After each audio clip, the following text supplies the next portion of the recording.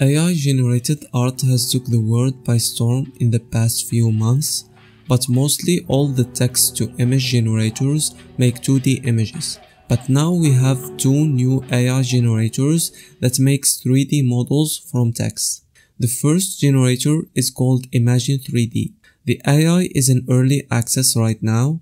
It's created by Luma AI Labs and they released this trailer for their new text to 3D model AI.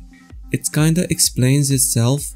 You write a prompt and the AI makes a 3D model, a textured 3D model for you. The materials looks like it's a diffuse texture, but there is a diffuse to material AI already, so that's already handled.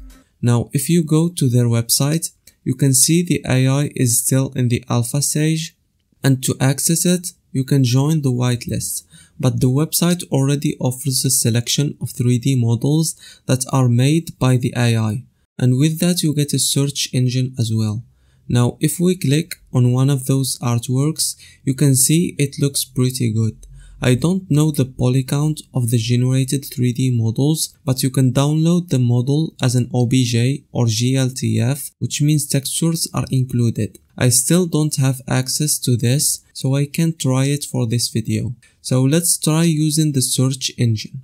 Let's search for a cake. You can search for anything you want. I'm just testing the search engine. Now let's click on one of those featured characters and let's download one of them to open it with Blender and have a closer look at it and see how many polygons it has. The download is going to be a zip file that has an MLTF file and OBJ file and the textures folder.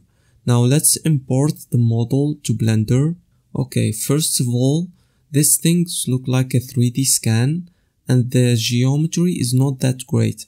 370,000 vertices. I think that's a lot for a model like this. So if you're familiar with cleaning up 3D scans, you might fix it a little bit, but I would not think that this can be a main subject on a render.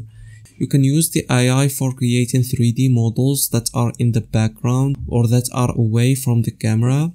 Overall, I think in the future, these models are going to get better and the Imagine 3D website is going to become like a free massive library of 3D models where you can generate 3D models as well.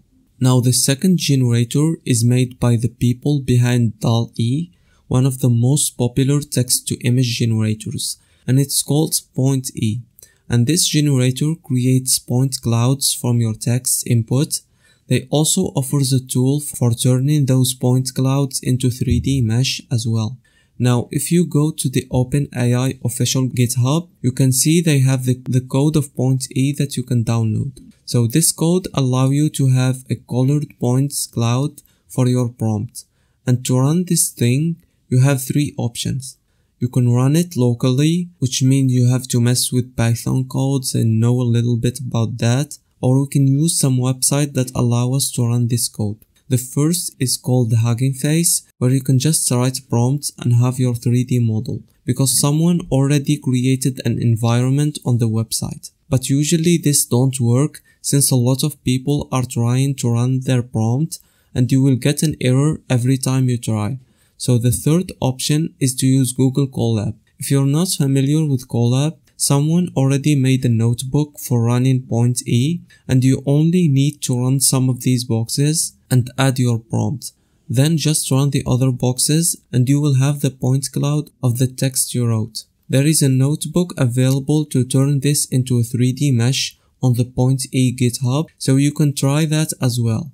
So now we have two text to 3D model AIs that are published this week. This AI thing is going too fast and God knows what kind of new tools we will be getting next year.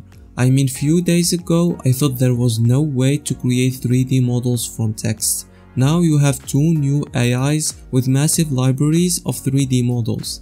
Anyway, tell me guys what do you think about these AIs? I really want to know your opinion about this. Like, is it going to be the future of 3D art?